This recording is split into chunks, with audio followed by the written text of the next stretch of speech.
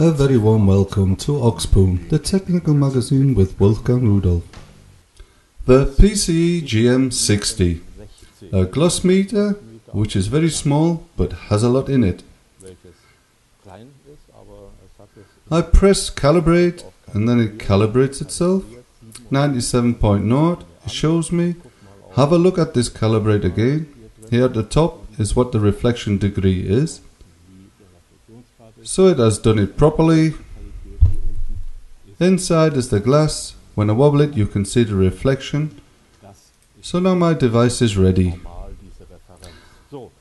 I only have to put it down on something, press once and it measures at a fixed angle.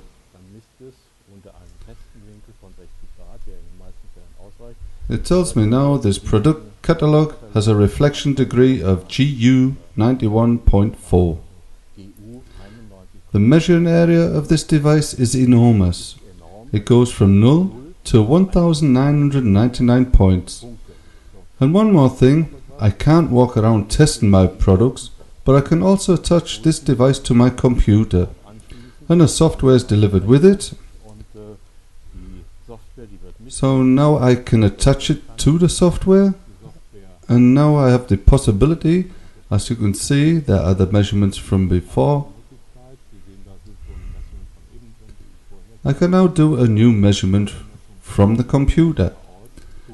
I have the possibility to do more measurements simultaneously to set the sequence and so forth. I can naturally like before measure by hand.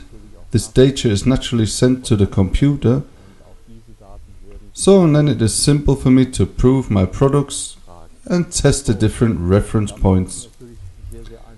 And see later, is that what I want?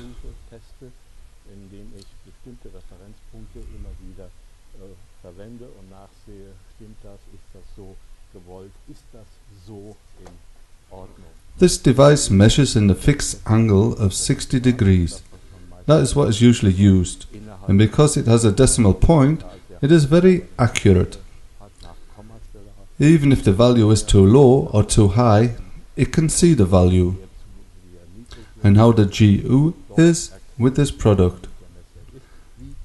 A very handy device, it is powered with batteries, had a connection cable and software is delivered with it. An interesting story able to measure gloss